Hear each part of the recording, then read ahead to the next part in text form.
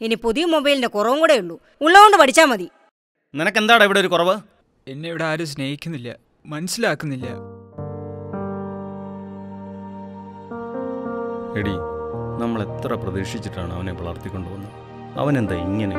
ടീച്ചറെ ടീച്ചർ വീട്ടിലുണ്ടോ? ഞാൻ ഇപ്പൊ തന്നെ അവനെയും കൂട്ടി അങ്ങോട്ട് വരട്ടെ.